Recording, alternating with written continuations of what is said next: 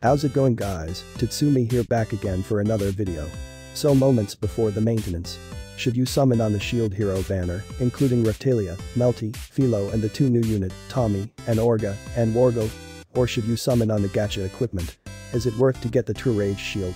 Well, in this video I'm going to have a short review on the unit banner and also these new gacha item summon so sit back and relax. And if you haven't subscribed to the channel, I hope you do, just click the subscribe button and turn the notification bell for more videos like this in the future. Okay, without being said let's start.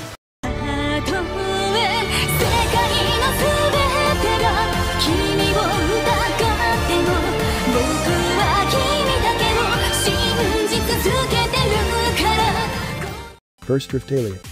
Raphtalia's buff is just her skill, they add new effect, if crits gains 30 arts gauge if not gains 15.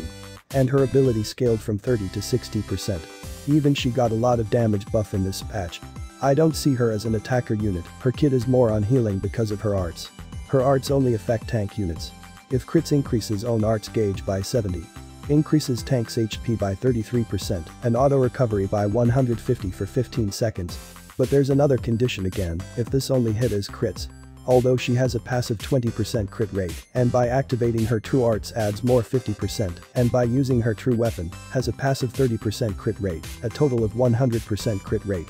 Her true arts is kind of selfish, it only buff her own, but she can boost her skill CT, so she gain more arts gauge to heal tanks. And that is what I saw in her kit. Next Filo. Filo's buff is only her true arts damage from 45,000% to 55,000%. And her skill CT speed reduced from 11 to 9 seconds. I don't really understand why they make Filo's buff this little, compared to Raphtalia and Melty's buffs. Filo's kit is stacking attack by using her skill, and a low HP killer, she boosts her damage when the enemy's low HP. And a passive 50% damage to dragon. She has the potential killing Virago.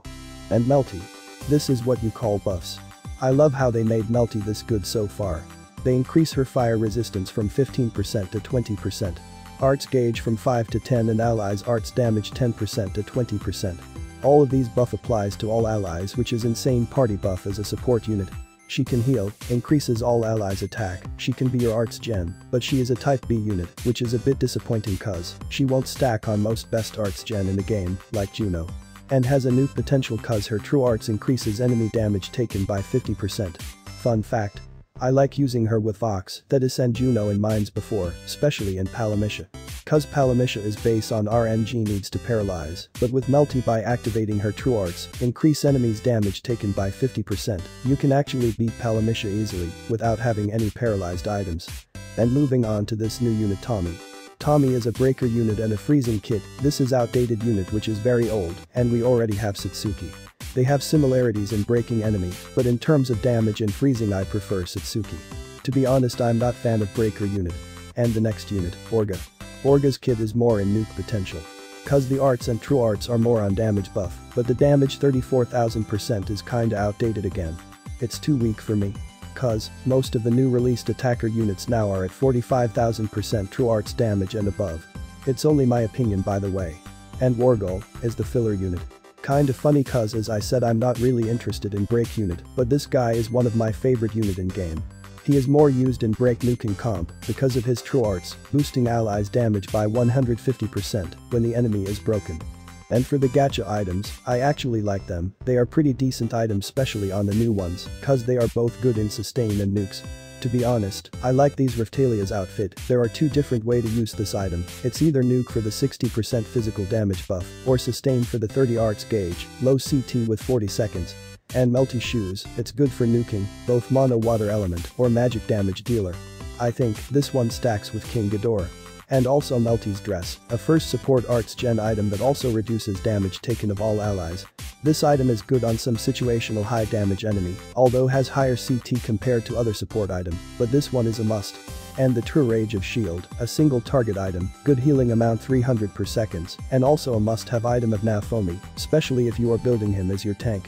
It adds damage negation for his arts, and also reduces physical damage taken by massive 25%. But it only applies in physical enemies, it's not really a must-have item.